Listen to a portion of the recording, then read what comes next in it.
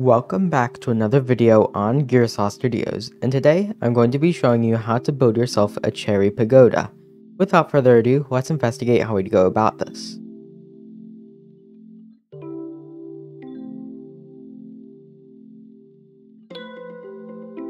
Starting off, I now have a 21 by 21 by 4 brick of deep slate bricks, and then I have some bamboo mosaic on top. And this is going to be a little bit expensive. You do not need to make it solid though, so that should help deal with the costs. If it helps to, you don't need the top either since it's going to have a floor placed on top of it immediately. Now, I've segmented this build into these, well, segments, and the reason I'm doing this is so that way I can figure out where I want the support pillars to go, because if you look at a pagoda, you know how it always has those roofs that go on top of the lower layers. Well, I need a spot for those support pillars. So segment this thing, and then we're also going to need a staircase up to it. Whether you want a grand staircase going right up, or a wraparound is up to you. But it really determines what you're going to do with the foundation, since I'm not going to leave it as this. Essentially, think about your landscape and then consider what are your options. Potentially, you might be able to include some foliage and other extra landscaping on top of your landscape. Now, I'm starting to get some of the more fundamental things in here.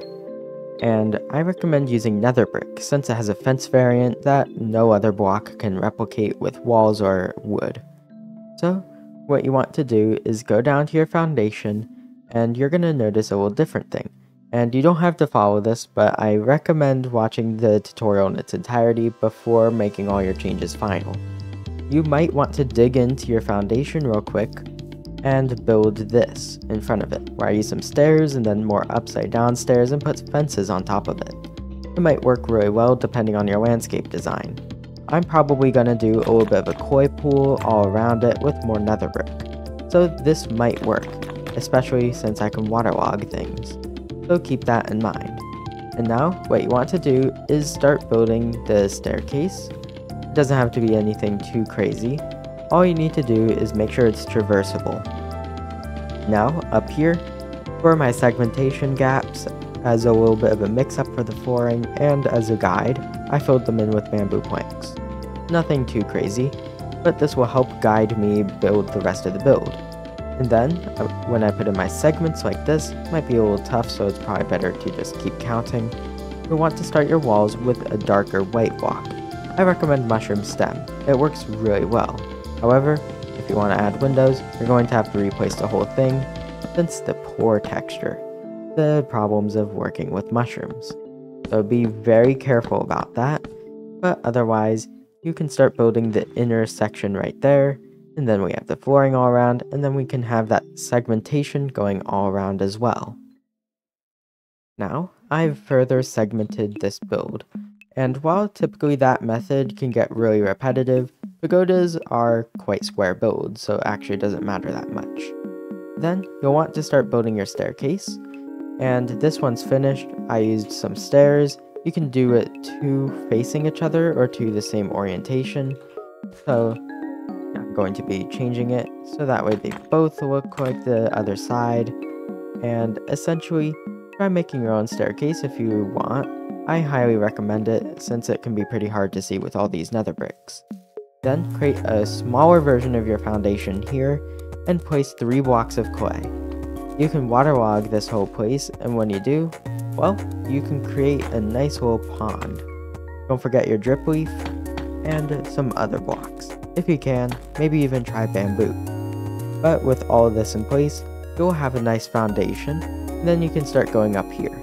While I haven't fully devised the palette for this segment here, so I highly recommend the darker white blocks. With some foliage now in place using lily pads, seagrass, some small drip leaf, and sea pickles, now this place will look especially nice, especially if it's in a cherry grove due to the watercolor, although building this in a cherry grove isn't actually necessary.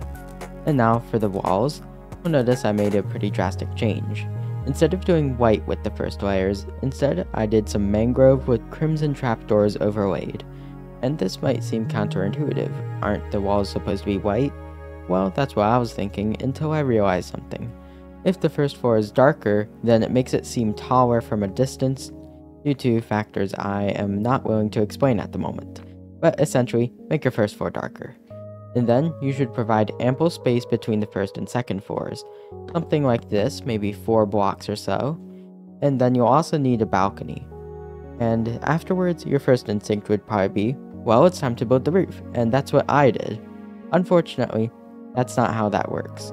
If you try building the roof now, you're going to run into some major space issues. So I recommend building the whole pagoda without roofs for now. Go up 3 or 4 blocks and then build a smaller version of this. Instead of doing 333, you might want to do something, well, I should probably grab a more distinct block. How about grass for now? What if you're to do something like this? It's pretty simple. You can see it gets a little bit smaller. Then you can perpetually decrease this over and over, as long as the central area is the same size. Then you can go down to 3, 1, then you can potentially do something like this, although you might have varying results. So yeah, I'm starting to make a fool of myself. So essentially, try going smaller with every layer. And if you do so, then it will create a sense of scale, because the higher up you go, the smaller it gets, so it makes it seem really tall. Kind of like how when you look at the bottom of a very tall structure from right next to it, it seems a lot taller than it really is. Think of that effect and try utilizing it. If I'm standing here, and I have the darkness there and it gets smaller and smaller, makes it seem like it's stretching towards the clouds, which makes it seem a lot taller, and that is your goal. So space your floors higher up and ignore the roofs for now. Now, with the layers starting to come into place, each one 4 blocks away from each other, you can see I can really start building the pagoda, and I built the first roof here. And the inside is not done yet, but the basic shape is there. And it's kinda complicated. And what you need to do is you have to start in the middle, and then you want to go up. Ironically, I got this mixed up, so now I have a really weird roof here. But you can see how it doesn't matter too much as long as you still have the moving around. So essentially, you start up high at the edges, and then you go maybe 5 blocks, then down one, and then 5 more blocks and down another. And while I accidentally inverted that, still, the idea is there. And hopefully you don't make that mistake like I did but fortunately, it shouldn't affect the build too much, and if you are really angry at it, well, you can always just change it. And I think I'll do that. Essentially, make your corners higher than the middle, and then you repeat that for each layer, getting smaller and smaller just as the walls do. You can see here, I go from 333 to 232, then 212, and then 5, and then 3. And also notice how the balconies get smaller although the top balcony is going to have no fences on certain sides to allow elytra access. So essentially, build your layers and then build the roof by going to the corner. Just a little thing here, you know, you can pause here in order to get a better idea of what exactly you're doing, because I'm going to be honest, this part's really hard. I don't care if you have to copy it exactly, because yeah, it took me a while to do this too. Now, I've smoothed out this middle piece to be a little bit lower. The insides aren't finished, but what I recommend is lining them with another block like mangrove planks. Although that part's not crazy important, you could literally just do more tiles. And now, here's a simplified version of what the roof looks like. It goes three blocks out from the railing, might have to change for the smaller layers, and then I start out down here, making sure that it never goes below this nether brick. If it does, then it's going to cause issues. And then I have 5 blocks here, 4, and then another 5 going up and back down and back up. You might want to make it more extreme, although if you built one differently then that could create issues, but hopefully you're building them consistently. Then once you do that, you just put down the slabs like this. I highly recommend slabs for this. And then as you do this, well, it's not going to be too crazy. Of course, the extra details are going to come in later to make it more pagoda-like, but this is a very good base. For now, just fill it in, make sure you have some sort of blocks up there in order to connect your layers. And then, right here, I have some dark oak. Just to give an example. Although it might be a little tall, still, it makes the pagoda taller and thus more interesting to look at from a distance. You can see here, despite being unfinished, it's one of the focal points of this area besides these ridiculously picturesque mountains I don't touch for some reason. So you get the idea. If it's taller, then it's more interesting to look at. Right here, all the roofs are in place except for the very tallest one. And you can see, it looks pretty decent.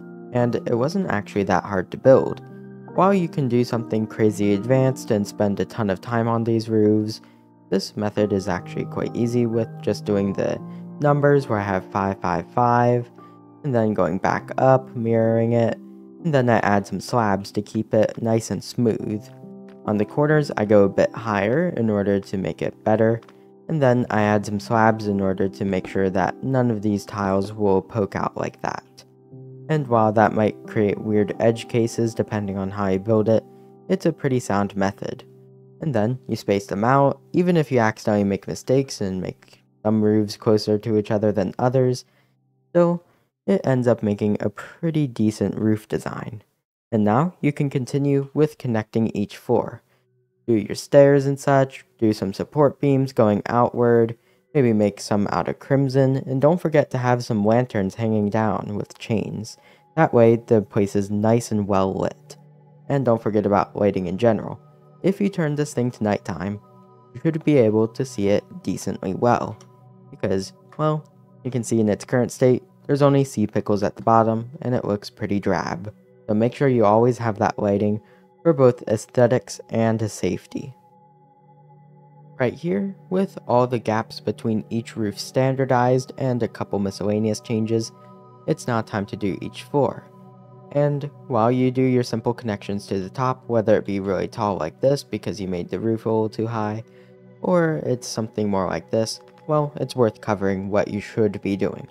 First off, make sure the balconies are perfectly accessible. While you might want to do this, no, that's not how balconies work. So make sure you don't do what I just demonstrated. Make sure it's fully walkable without changing your elevation. And then, Make sure you have some extra detailing. You can see I included a bunch of stairs and trapdoors in order to make it a bit more smooth. I even included a crimson button above the doors, so that way it's just all the more detailed. And then for windows, instead of glass, I went with open fence gates, specifically crimson ones. And now, you don't go ultra modern. Instead, it's a bit more realistic, even though this entire thing's kind of just made out of dark oak and a mushroom stem you know, very realistic blocks along with the white wool, but the idea is there. So all you need to do is go into each floor, make a slight variant of this design, make sure it links up pretty well with the roof. Sometimes there's simple block limitations due to slabs, so you just have to put a trapdoor, and that's all you can really do, unless you want to do slabs. And then you just go to each floor and make a variant of it. It's not the hardest concept to do, but if you're struggling, perhaps look up other designs because looking at pictures of pagodas is often pretty useful. I had to do a few myself in order to make sure I was doing the roofs right. Now, for the pagoda, I've added some more traditional lighting to replace the lanterns that hung from the ceiling. And this is really just more of an aesthetic change, but it means I can use less lanterns. Of course, don't remove them completely, since they add a little bit of extra detail into the build.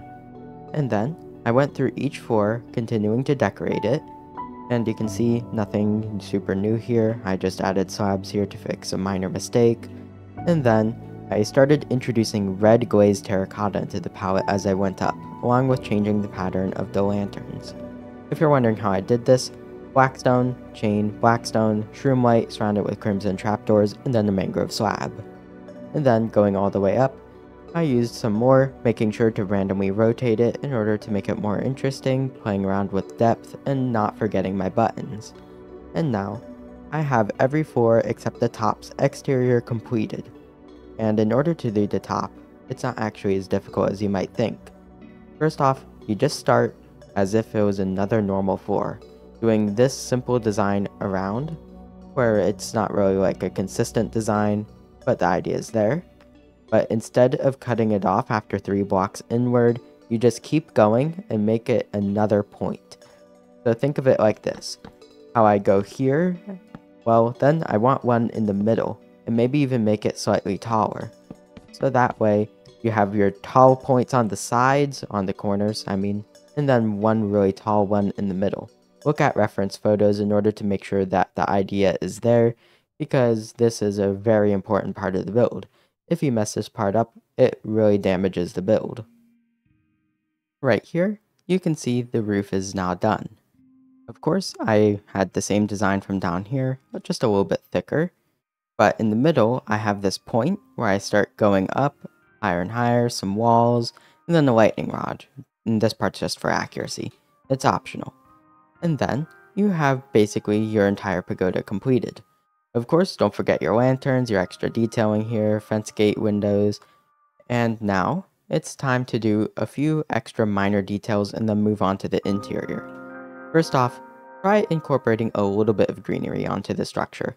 It might look a little too empty at this point, so you should always try including it. Even if you don't, it still looks like a completely majestic structure. Even from over a cliff, you can see it, and it's quite tall, quite cool looking. I mean, I'm kind of patting myself on the back here, but still. And yeah, try incorporating various plants, maybe some cherry leaves, and don't forget about having the option to change the floor.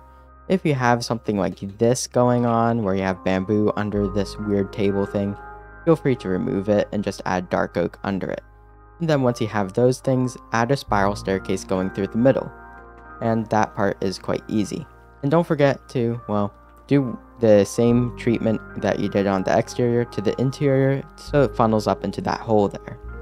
Anyways, a quick spiral staircase tutorial, probably like the 50th one on the channel. Don't use oak slabs for this, I'm going to say that. What you do is you do a slab, and then you just keep doing this over and over, and then you'll eventually reach the top. Of course, don't use oak unless you're already using it in your palette. Right here, you can see the landscaping has been added. What I did is change the stairs to full blocks, then I added trapdoors here to hide the podzol that they grow on, mainly because it's just a nice block. And then I make them smaller as I go up, along with a little extra stuff going on with the bamboo. This was not here before and added some much needed greenery. And now, it's time to go on the inside. And I'm going to be completely honest, the insides are actually meant to be empty. And while I'm still going to decorate mine, still, you should probably think about what you want your pagoda to be used for. Is it a base? Or is it just a structure? If so, you can probably leave it mostly empty. Otherwise, if it's a base, you might have a little bit of problem with fitting all your storage, but otherwise it should work out. Now for each floor, you must play the game of how do I fit my lighting while still funneling to the little ring at the top that the spiral staircase goes through. And I played this game for every floor. Used some stripped stems on the sides and then switched to planks, mangrove in there, and then I did a little extra here. You can see how I used stairs and slabs along with a little bit of red glazed terracotta to add that nice accent, along with making the room not square by adding these pillars.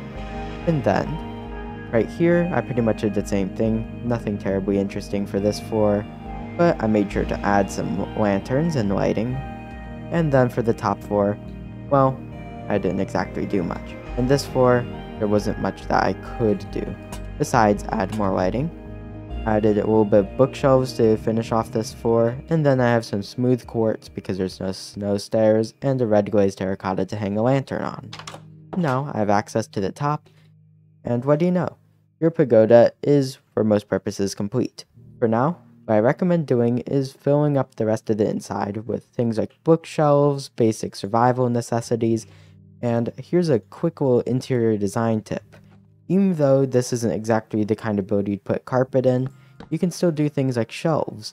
Place down some trapdoors of any kind. I personally like dark oak. In case you haven't figured it out yet, it's my favorite block in the game.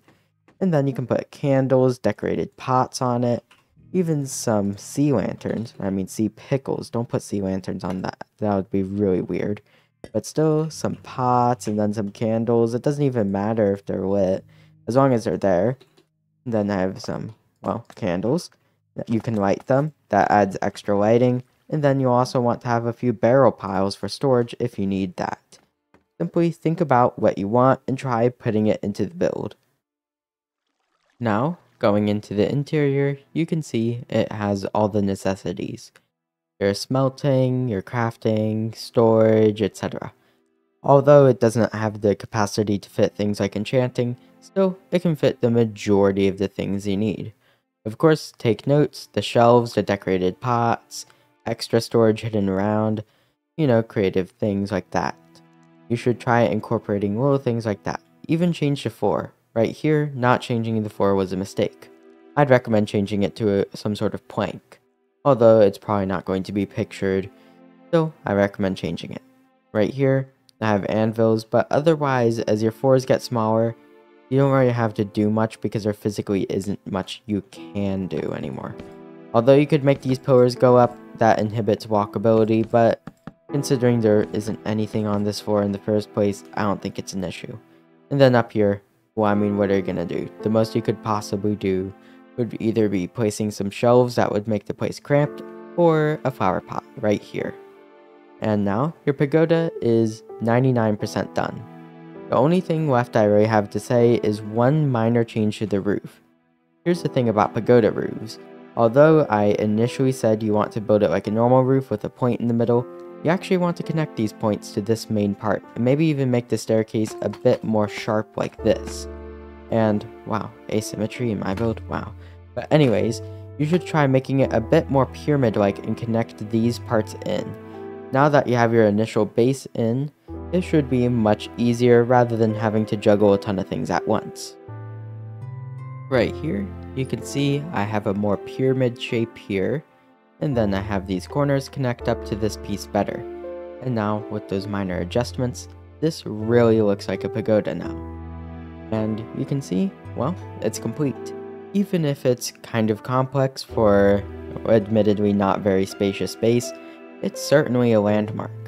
Compare it to something more simple like this, you know, it's not the craziest house ever, I could definitely do better, and then you see that in the distance. This is certainly a way to, well, flex on people, but also just decorate your cherry groves.